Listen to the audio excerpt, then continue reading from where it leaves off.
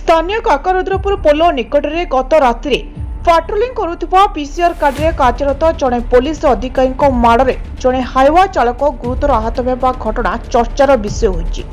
ଆହତ ଚାଳକ ହେଲେ ପୁରୀ ଜିଲ୍ଲା କାକଟପୁର ଥାନା ଅଞ୍ଚଳର ଲିଟୁ ସ୍ୱାଇଁ ବୟସ ତିରିଶ।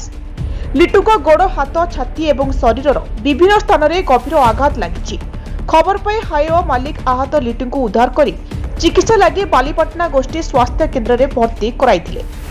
ହେଲେ ଅବସ୍ଥା ସଙ୍କଟାପନ୍ନ ହେବାରୁ ତାଙ୍କୁ କ୍ୟାପିଟାଲ ହସ୍ପିଟାଲକୁ ସ୍ଥାନାନ୍ତର କରାଯାଇଥିଲା। ତାଙ୍କ ଗୋଡ଼ ବ୍ୟାଣ୍ଡେଜ ହୋଇଥିବା ବେଳେ ଶରୀର କ୍ଷତାକ୍ତ ହୋଇଛି। ଖବର ପାଇ ଲିଟୁଙ୍କ ପତ୍ନୀ ଶ୍ରଦ୍ଧାଞ୍ଜଳି ଓ କୁନି ଝିଅ ହସ୍ପିଟାଲରେ ପହଞ୍ଚିଥିଲେ। ଏନେଇ ଶ୍ରଦ୍ଧାଞ୍ଜଳି ଆଜି ଅପରାହ୍ନରେ ବାଲିଅନ୍ତା ଥାନାରେ ଲିଖିତ ଅଭିଯୋଗ କରିବା ପରେ ଥାନା ଅଧିକାରୀ ଘଟଣାକୁ ଗୁରୁତର ସହ ନେଇ ହସ୍ପିଟାଲରେ ପହଞ୍ଚି ତଦନ୍ତ କରାଇଛନ୍ତି। ହେଲେ ରିପୋର୍ଟ ଲେଖା ହେବା ବେଳକୁ ଥାନାରେ ଏନେଇ ମାମଲା ରୁଜୁ ହୋଇନଥିବା ଜଣାପଡ଼ିଛି। ରାକେଶ ସାମନ୍ତରାୟ ନାମକ ଜଣେ ପୋଲିସ ଅଧିକାରୀ ମାଡ଼ ମାରିଥିବା ଅଭିଯୋଗରେ ଦର୍ଶାଯାଇଛି।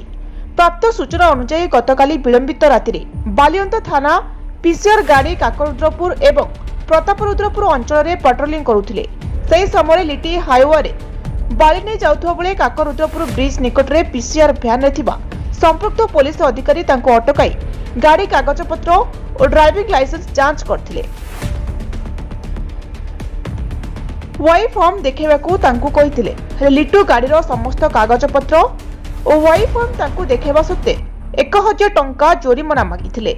ଏନେଇ ଲିଟୁ ଓ ପୋଲିସ ଅଧିକାରୀଙ୍କ ମଧ୍ୟରେ ଭୀଷଣ ଯୁକ୍ତିତର୍କ ହୋଇଥିଲା। ଏଥିରେ ଉତ୍କ୍ଷିପ୍ତ ହୋଇ ପୋଲିସ ତାଙ୍କୁ ବାଡ଼ିରେ ପିଟି ଆହତ କରିଥିବା ଏତଲାରେ ଉଲ୍ଲେଖ ହୋଇଛି। ବାଲିଅନ୍ତରୁ ବିଭୂତିଭୂଷଣ ପ୍ରଧାନଙ୍କ ରିପୋର୍ଟ ଓମକାର ଟିଭି।